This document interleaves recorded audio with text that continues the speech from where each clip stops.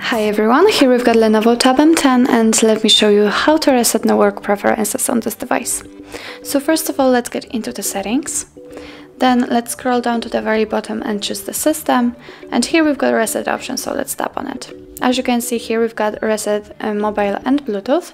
So let's tap on it. And uh, your device is telling you that what it will reset. So it will reset all network settings. Click on reset settings. If you've got a pattern or a then simply enter it to confirm. Click on reset settings again. And as you can see, network settings have been reset successfully. So that's all. This is how to reset network settings in your Lenovo Tab M10. Thank you so much for watching. If you find that this video was helpful, please hit the subscribe button and leave the thumbs up.